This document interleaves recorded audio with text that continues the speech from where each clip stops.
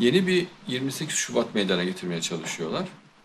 Cemaatleri bir 28 Şubat'a biliyorsunuz hizaya getirmeye kalkmışlardı. Şimdi yeniden hükümet eliyle bir 28 Şubat yapmaya kalkıyorlar. E, hükümet zaten o zemine dayanıyor. Kendi e, dayandığı zemini yıkacak hali yok. Evet. Bu mantığı bırak boş versinler ve bıraksınlar. Çok yanlış yoldalar. Bir de hükümetin dayandığı güç zaten onlar. Gelenekçi Ortodoks Müslümanlar yani geniş çapta onlar.